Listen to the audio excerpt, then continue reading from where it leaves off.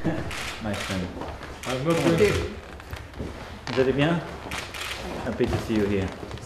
Presidenti serb Aleksandr Vuçiç u takua në Paris me presidentin francez Emmanuel Macron, të cilit i prezantoi nismën me Shqipërinë dhe Maqedoninë e Veriut për mini Schengenin.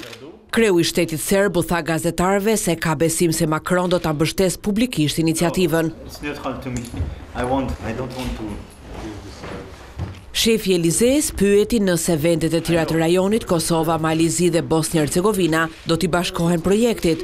Vuçiç tha se heqja e barrierave doganore është më e rëndësishme se sa historia e tërheqjes së njohjeve për Kosovën.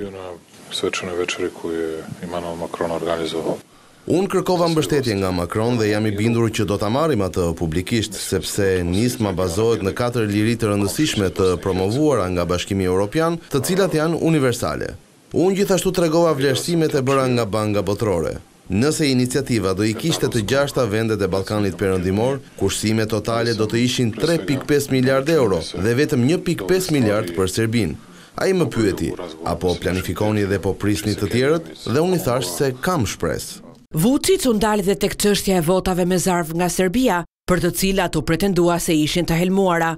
Por, sipas presidentit serb bëhet fjalë për një gënjeshtër të Prishtinës. Na što su navukli Kurtija neiskusnog, Ai helmim u krijua kundër Kurtit. Ata bënë një lojë të brendshme.